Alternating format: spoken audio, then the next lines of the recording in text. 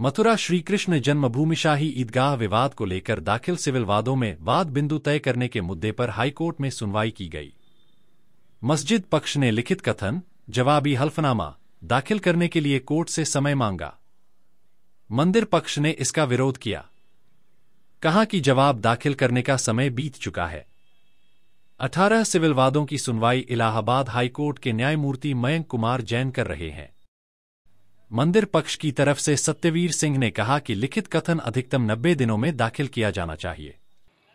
मस्जिद पक्ष ने सीपीसी के आर्डर सात रूल ग्यारह का प्रार्थना पत्र दाखिल किया, किंतु सिविल वादों पर लिखित कथन दाखिल नहीं किया। केवल केस की सुनवाई लटकाए रखने के लिए समय मांगा गया है।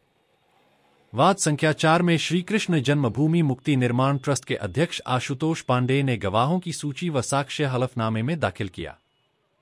गवाहों की सूची में मुख्य रूप से जगतगुरु राम भद्राचार्य आचार्य धीरेन्द्र कृष्ण शास्त्री बागेश्वर धाम, प्रवीण भाई तोगड़िया, आचार्य महामंडलेश्वर कैलाशनंद गिरी महाराज, श्रीराम जन्मभूमि तीर्थ क्षेत्र के स्थायी सदस्य परमानंद गिरी महाराज सहित कई नाम शामिल हैं।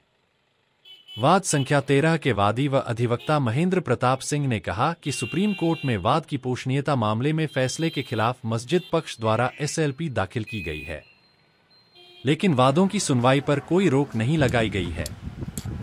ऐसे में वाद बिंदु तय किया जाए और न्यायालय की कार्रवाई को आगे बढ़ाई जाए। वाद संख्या सात के वकील अजय प्रताप सिंह ने कहा कि एसआई ने रिपोर्ट दाखिल की थी, लेकिन इसे शामिल नहीं किया गया है। मस्जिद पक्ष की तरफ़ से वरिष्ठ अधिवक्ता तस्नीम अहमदी ने पक्ष रखा।